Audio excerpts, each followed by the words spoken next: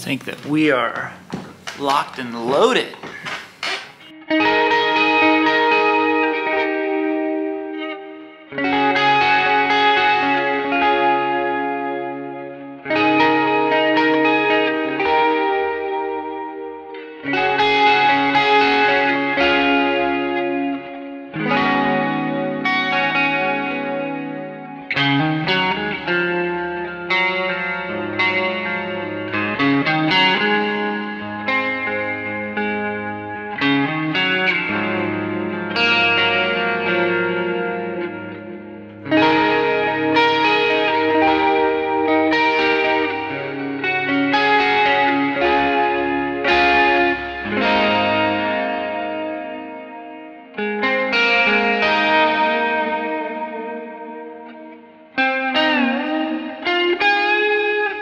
Weird. The thing just doesn't respond like a normal Strat trem. Wow, that got so bright all of a sudden. Hold on one second. A little bit better. Still crazy bright. Uh, what's going on, everybody? Welcome back. Second channel in action. And I was like, you know what? The video, the channel is called Tone Quest. Maybe should talk about tone. So here we go. Good tone, bad tone. Uh, toner works well in printers. I don't know. So to me, I, I think that um, might have been Dann Huff who said it, but there is no no such thing as bad tone.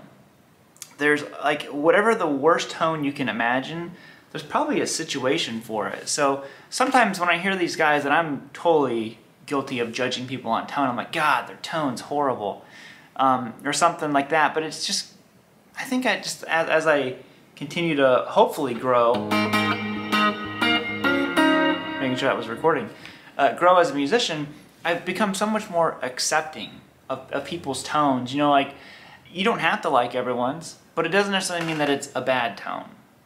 You know, for me, I hear uh, someone like uh, Jack White. I never really liked his tone, you know, it was always a pretty, pretty rough tone for me, but then I realized there's situations for it. You know, I used to hate fuzz just in general. I'm like, God, I hate that sound effect. It's so loose and wobbly sounding and just so saturated. And now I absolutely love it because I found the place for it in, in the way that I would use it. You know, like some people, um, uh, what's Scott Holiday, Scotty Holiday from Rival Sons uses it all the time. It's not really like my thing, uh, and I love his tone. I love the way that he uses it. It's just um, I don't think that way with fuzz. To me, fuzz is a more uh, like an intro, something like that. Then I wanted the distortion to tighten up or something like that. But you know, I was just kind of thinking about good tone, bad tone, no tone, you know, whatever you want to call it. Um, because sometimes it, it's kind of like the expression one, one man's trash is never another man's treasure. So you could hear a tone and just think that God, I think that's a terrible tone. And that could be someone else's tone that inspires them to want to play guitar. And um, that certainly happened to me because I used to always talk about how much I did not like Nirvana. I still don't really like Nirvana, if I'm being honest. But um, I, I, had to.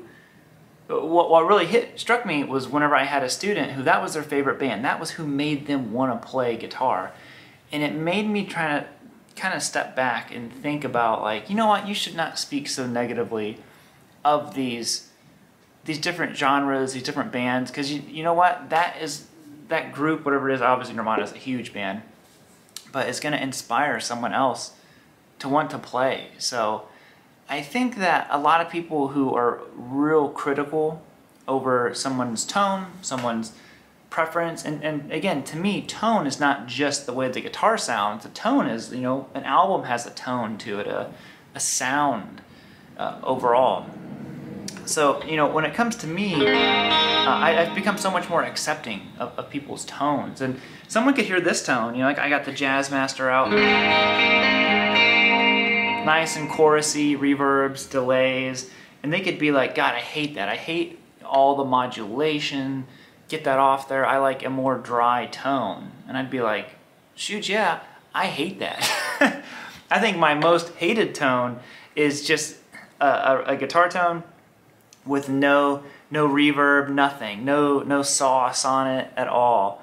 Um, you know, no shmoo factor. To me, this, I love it. It's very inspiring. So you just have to kind of figure out what inspires you to want to play.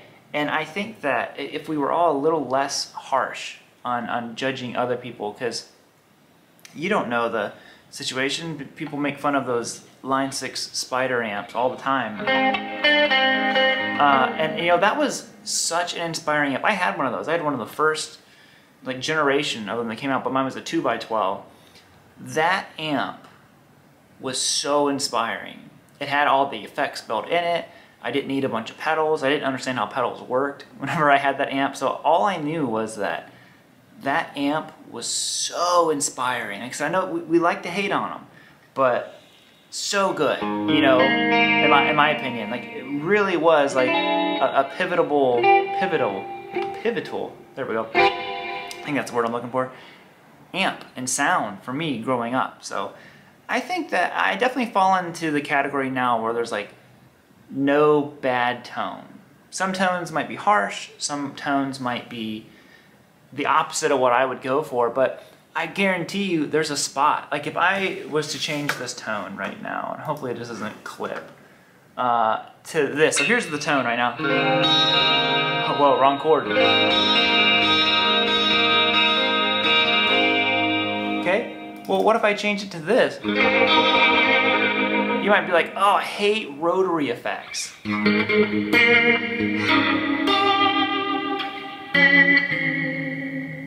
me, I love them. You know, it's such a cool sound. Uh, I could do that same thing I did in the Andrew.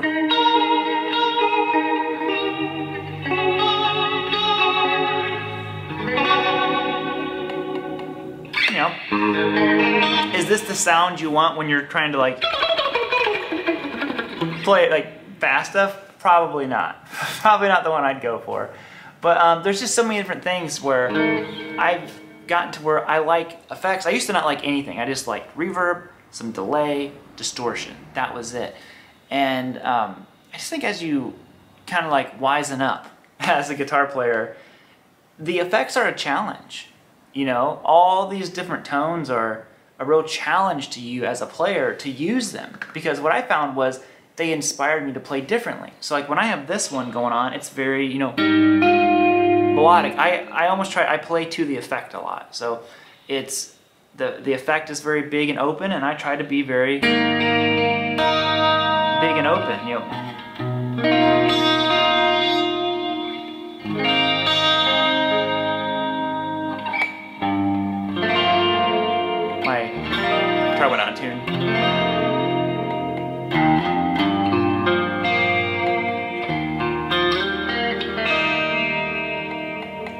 Play to the effect. You know, you turn on another effect. Um, it's like a multi-delay. I like this one a lot too.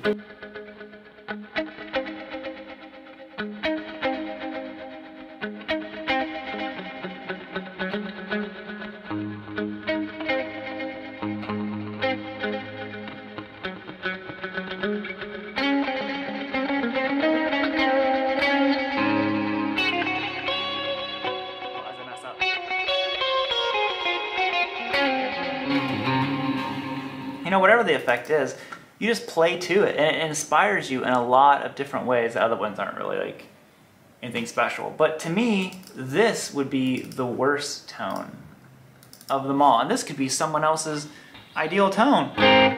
Just, just dry, like it just does not inspire me at all.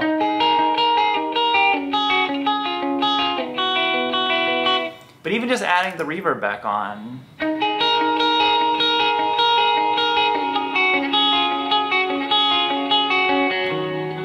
Whoa, see? Whatever I was just gonna go to, I was just goofing. And it went to something I'm like, oh yeah, that's kind of cool. But you know, you get that chorus, the delay back in.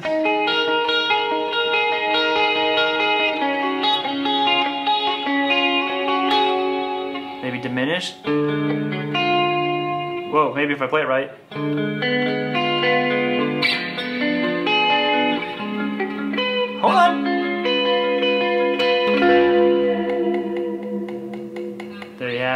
Um, what's, a, what's a good chord to end on?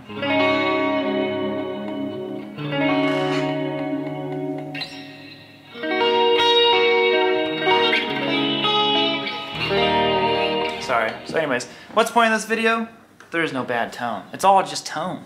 Good, bad, ugly, Clint Eastwood, you know, whoever. So other than that, I'm gonna bounce out of here, guys. Let me know, what do you think? Do you know, are there tones that you just can't stand and you're like, I refuse to admit that that's not a bad tone? Because I've been there. I've been there. So until next time, guys, hope you're enjoying the second channel. Like I said, I just, I like goofing off sometimes, hanging out with you. So um, I just finished editing video for the main channel, uh, Zeppelin video coming out. Maybe it's already out when you see this. And um, yo, I hope I, I hope you all have a good rest of the year. I don't know if I'll get another video up before I gotta say it's 2022. So I'll see you guys.